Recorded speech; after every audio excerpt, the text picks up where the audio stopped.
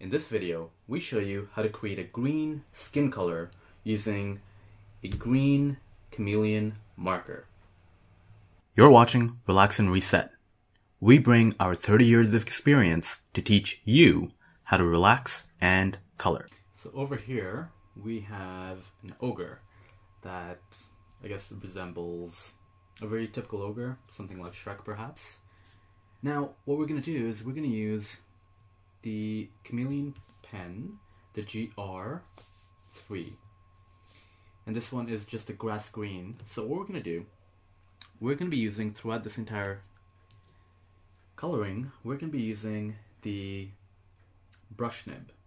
So starting off, what we're to look at is the color itself of the face. So in this case, what we're going to do is we're going to use just a marker, just a base color, and look at where the shadows are. So if you have light coming in from this side, what's going to happen is we're going to get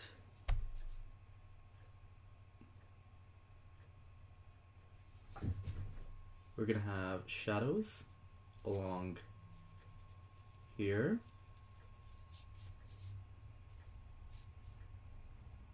And we're also going to get shadows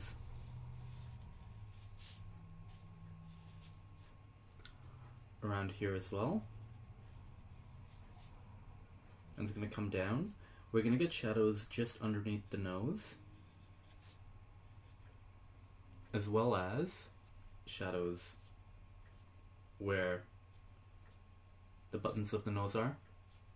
Of course, where the crease is of the cheek, of the smile. And we're going to create another one.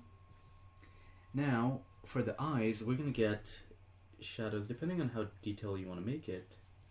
We're definitely going to get shadows directly underneath the eyelid over there. And we're also going to get shadows along the base of this and then for this side, we're going to get shadows just underneath this ear right here.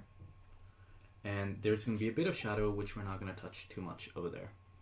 Now, starting off, what we're going to do is we're going to take a look at this in terms of process. So where are we going to get a lot of shadows depending on where the light's coming from and how much we want to blend using the blending chamber. So in this case, I'm going to start off using a very simple place, which is from this place up, and I'm going to hold for 1 Mississippi, 2 Mississippi, 3 Mississippi, 4 Mississippi, 5, and now what I'm going to do is I'm going to test to make sure if it's how I, how I like it and and I'm gonna just work in streaks. And the reason why I'm working in streaks is I want to have a bit of wrinkles up there. Now I'm gonna go back in and hold for one Mississippi, two Mississippi, three Mississippi, four, five, six. Again, I'm gonna use this to test and now I'm gonna blend it all the way through. Again I'm gonna hold and go back to blending. Because what I'm trying to do is I'm trying to have the dark spot up top and this blending in. So I'm still gonna continue blending. And I can see it's good. I'll continue and as I see it start starting to darken that's when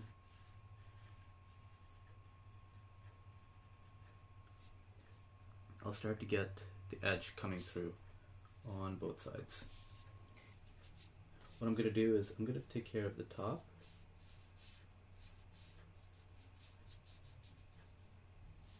right here and I'm going to do the similar thing going backwards for that little portion right there.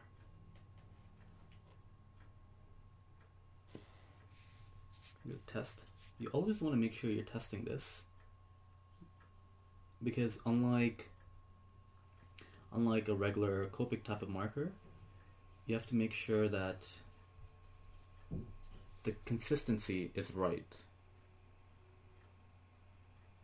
So in this case, that takes care of that. But what we can always improve on is the little shadow area at the bottom. So I'm going to keep on testing this until we get the right layer of green. And then we get to start to get the blending effect that we we're looking for.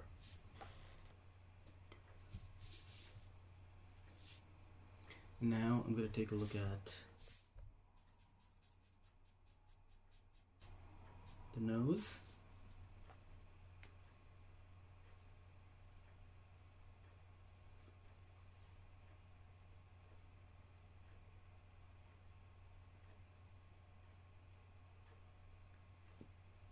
Now I'm going to take a look at this part of the nose.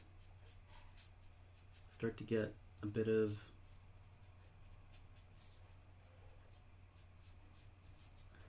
bit of the shadows coming through. Now, this drawing is somewhat different compared to others because what you'll realize is the amount of space that you're blending is quite large compared to most colored pieces. So it's going to be somewhat of an interesting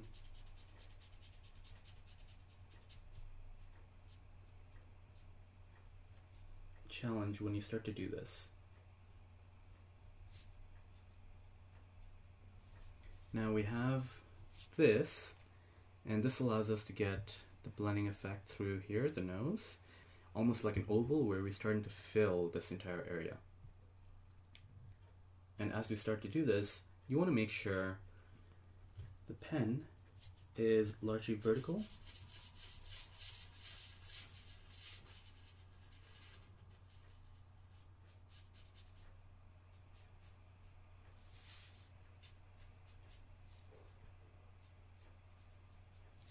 As we start to fill this in, we're going to do it in a similar manner because we're going to have the chin protruding here.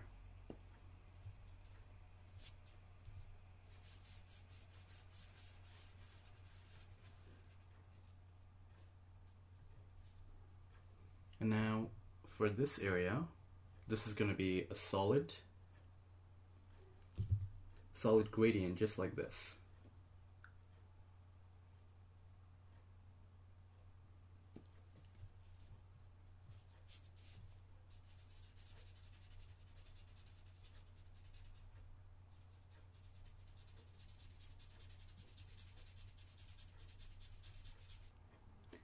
Now, after you're done, you can always come back and edit a few things that you like and you can keep on working on it to make sure it's perfect. So what we've done is we've skipped forward and just edited a few of the things. We have obviously fixed in the eyes, colored in the mouth, and over here you could see the image looks much better now that we have colored using all the different elements. And of course it could be improved on, but this at a very basic level is how you color the skin by looking at each different sections at a time. If you'd like to watch the whole video, join our Ultimate Coloring class where we cover how to color using colored pencils, watercolor, and markers. If you've liked the video, subscribe and share with your friends.